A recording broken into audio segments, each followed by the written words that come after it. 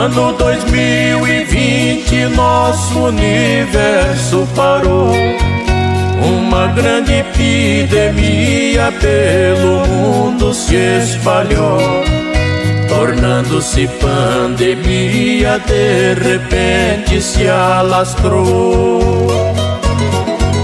Pessoas com mais idade que o vírus mais atacou por isso, dentro de casa, a nação se confinou.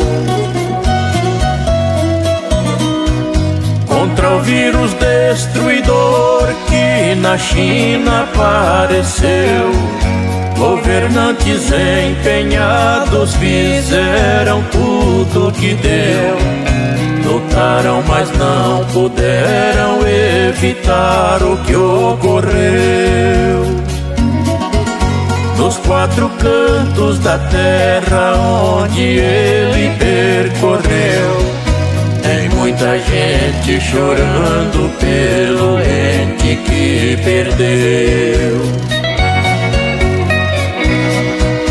Para combater o vírus, todo mundo se uniu lutando com desespero, principalmente o Brasil.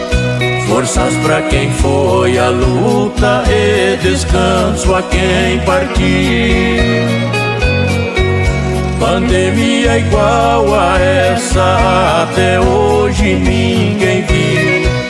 Com tanta ferocidade, creio que nunca existiu.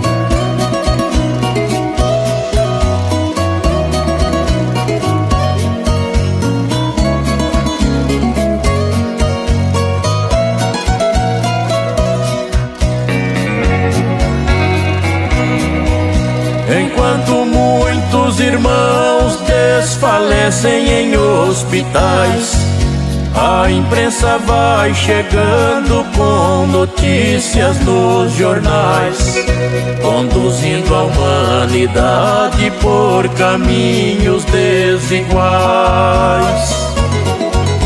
É uma guerra de poderes dos governos estaduais Enquanto isso, os conflitos cada vez aumentam mais. Este acontecimento que deixou o mundo abalado deve ter sido um alerta que por Deus foi enviado quem sabe daqui pra frente tudo pode ser mudado. Mais união entre os povos, mais amor consolidado. Ficando em segundo plano o dinheiro amaldiçoado. Vírus que apareceu e afetou milhões de gente está na terra e nos ares, contaminando o ambiente. Nem por isso nos calamos, temos que seguir em frente. Vamos seguir os exemplos de Deus Pai Onipotente só pode colher bons frutos quem plantar boa semente.